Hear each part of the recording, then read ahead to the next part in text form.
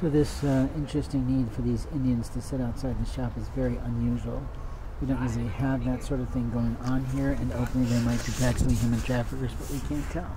Why are they here? What are they doing here? What are they waiting for? If they're waiting for Uber, what's the story? I cannot tell. Are they scoping the shop? Are they trying to see what the availability? Earlier today, I was approached by some woman who appeared to be Indian, but she could have been some form of gypsy. I can't tell. She could barely speak the mother tongue of English, and I don't think she was Hispanic.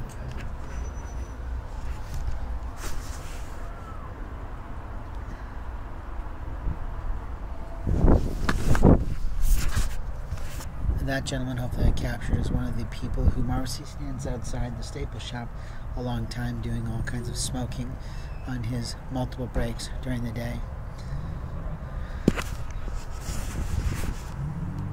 As we look down the row, we can see that the Indians are still sitting there on the sidewalk, which is sort of unencumbered by the fact that anyone is welcome to sit anywhere, but sometimes people like to listen to a channel and play into that.